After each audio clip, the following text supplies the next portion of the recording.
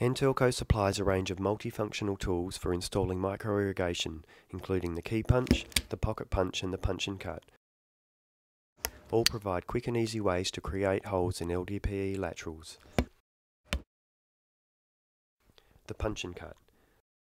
The punch and cut is designed to easily and cleanly cut LDPE tubing up to 25mm diameter. It also simplifies installation of emitters and adapters in laterals. The hole punch produces clean round holes in tubing up to 25mm diameter. To install emitters, insert the emitter spout into the clip at the end of the handle, then push the emitter barb into the hole. To insert off-take tubes, insert the tube and adapter into the slots in the edge of the punch and cut, then push the adapter into the hole.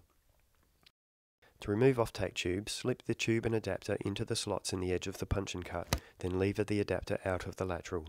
To remove emitters, slide the tapered slot on the edge of the punch and cut under the emitter and lever it out of the lateral.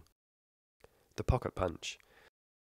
The pocket punch produces clean round holes in tubing up to 17mm in diameter. To install emitters, insert the emitter spout into the clip in the end of the handle, then push the emitter barb into the hole. To install off-take tubes, insert the tube and adapter into the slots in the end of the pocket punch, then push the adapter into the hole. To remove emitters, slide the slotted end of the pocket punch under the emitter and lever backwards.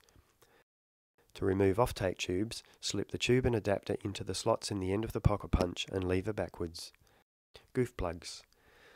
Goof plugs provide an easy way to block off holes. Simply twist off a single goof plug from a rack of 10, then insert into the unwanted hole in your LDPE lateral. See our website for detailed technical and ordering information.